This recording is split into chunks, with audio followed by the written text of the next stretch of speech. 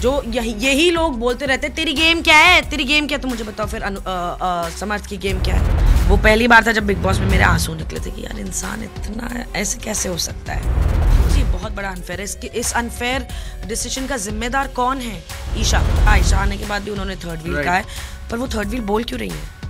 वो तो दोस्त है ना। Hello everyone this is me Simran Singh और बिग बॉस के घर से बाहर हुई आज वो कंटेस्टेंट जो अपने आप में बहुत स्ट्रॉन्ग कंटेस्टेंट थी, लेकिन फिर भी वो बाहर हो गई 76 डेज़ के बाद। Yes we are talking about Rinku ma'am thank you so much for joining thank you so much for having me on your channel तो एक बात बताइए 76 डेज़ बहुत लंबा सफ़र रहा है एंड uh, लोग जब बोलते हैं कि जैसे अंदर भी जो थे आपके आपकी उम्र से कितने कम लोग हैं लेकिन देवर सिंह कि यार ये कैसे ग्रेस पीरियड में रह रही है कुछ कर नहीं रही है सो नहीं रही है। इनफैक्ट यू नो आपके एक मीम्स जो है वो काफ़ी फ़ेमस हो गए हाँ. सोते हुए। हाँ आपका आपका एक मीम है मैं तो इतना सोई नहीं हूँ लेकिन लेकिन वो- अंकिता सोती थी। हाँ, अनुराग सोता था।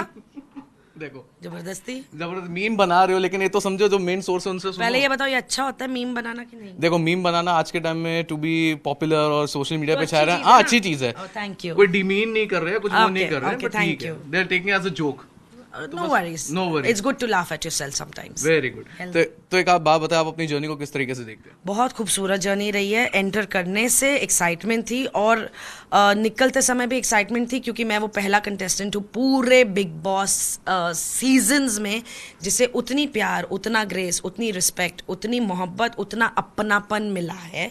निकलते समय भी मैं एक दुश्मन छोड़ के नहीं आई हूँ घर में। किसी ने नहीं बोला अच्छा है गई।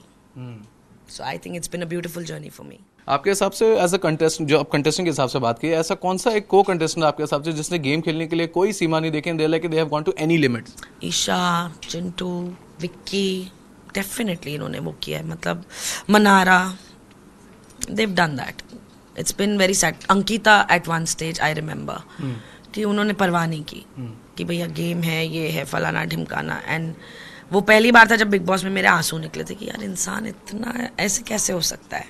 So yeah these people have done that मेरी आँखों के सामने। कि गेम में आने के लिए और यू you नो know, अपने लाइमलाइट लेने के लिए लोग क्या बोलते हैं अफेयर्स भी करते हैं या अफेयर का बहाना देके भी अंदर आते हैं जैसे आयशा को अभी जो कॉल आउट किया गया सलमान ने भी कॉल आउट किया कि जब आप आए थे आपका इंटेंशन कुछ और था लेकिन अपॉलॉजी के लिए आप नेशनल टेलीविज़न पे और दो दिन के बाद तो कहानी कुछ और ही थी। बहुत करेक्ट बात कही सर ने क्योंकि उतनी समझ हम में भी नहीं है कि भैया क्योंकि ये प्लेटफॉर्म इतना बड़ा है कि यहाँ पर हर कोई आना चाहेगा। सर ने ये भी उस दौरान कहा था कि भाई ये ये ये ये चीज़ें हैं लेकिन अगर आप इसे as an very big opportunity इस सिचुएशन uh, का इस्तेमाल करके आप इसमें आई हैं अपने करियर के लिए अपनी लाइफ के लिए अपने फाइनेंसेस के लिए whatever that can be वो भी गलत नहीं है।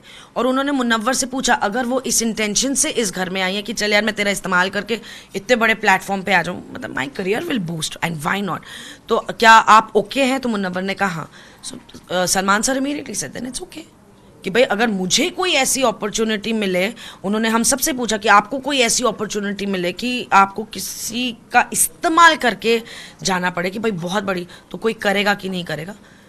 Most of us said no but I think it's a very individual choice तो uh, हाँ।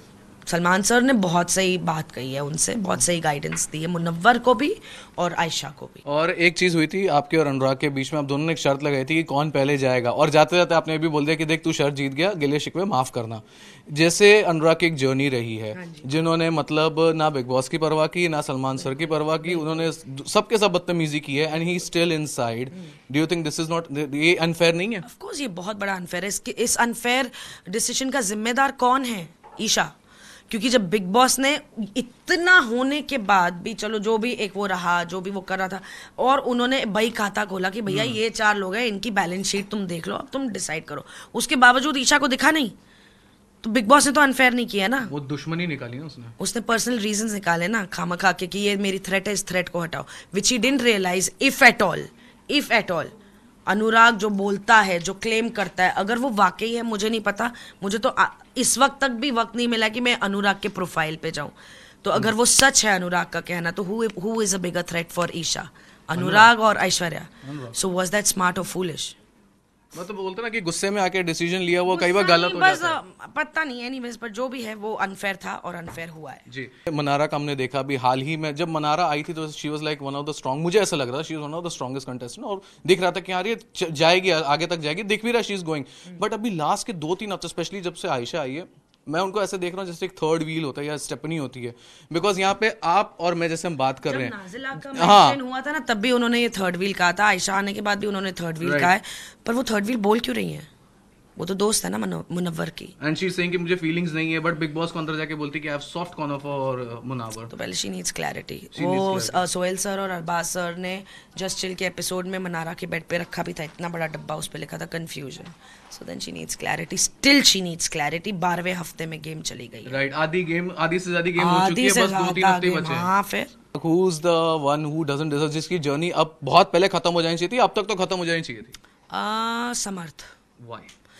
Because Samarth is a very good comic light element जो बिग बॉस जैसे एक मेंटल स्ट्रेसफुल घर में बहुत ज़रूरी, ज़रूरी है। है। बट अगर जो हम जो यही लोग बोलते रहते हैं तेरी गेम क्या है? तेरी गेम क्या है? तो मुझे बताओ फिर अनु, अ, अ, समर्थ की गेम क्या है? Hmm. मतलब चीखना चिल्लाना प्लॉट करना मैन्युपुलेशन करना या जो भी that is suppose to be the game of Bigg Boss जो अ, समर्थ कर रहा है या समर्थ फॉलो कर रहा है। Hmm. फॉलो तो किसको फॉलो करे? ईशा को। मतलब चाहे जिस मर्ज़ी को हाँ, करे उसकी अपनी क्या गेम है? जिस मर्ज़ी को फॉलो करे इंडिविजुअल क्या सिर्फ़ अभिषेक। अभिषेक को पोक करे और जहाँ अभिषेक पोक हो गया देखा मुझे मुद्दा मिल गया मेरी आवाज़ सुनाई दे रही है।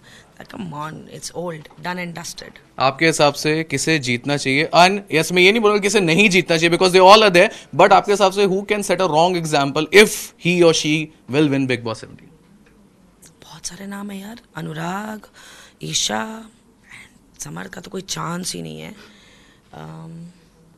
Vicky is a very strong contender but because I am a woman who believes in fair so Vicky is not the contender to win to win to win and Ankita do you think Ankita Ankita definitely but Ankita uh, थोड़ा diplomacy छोड़ दें तो Ankita is a very strong woman but मेरे favourite और मेरे बायस contender Munawwar Farooqui है और उन्हें जीतना है। वाह और इस बार आपको लगता है जैसे बिग बॉस खुद ऐलान करते हैं हाँ मैं बायस्ड हूँ तो बड़ा तो फिर हम भी बिग बॉस की लाइनें ले लेना हम तो रोज उसका एंथम गाते हैं। तो इस बार मतलब बिग बॉस वाकई बहुत बायस रहे हैं हाँ जी रहे हाँ जी रहे हैं खुले में रहे हैं एकदम। बिग बॉस को किसका डर है? जी जी। Okay ma'am so thank you so much for joining and wish you all the best I hope कि हम आपको और देखे पर्दे पे। जी बिल्कुल ऑफ़ कोर्स यहाँ से उड़ान ही उड़ान है भाई। बिग बॉस में आके कोई नीचे नहीं ऊपर ही जाता है। चलो thank you so much for thank you thank you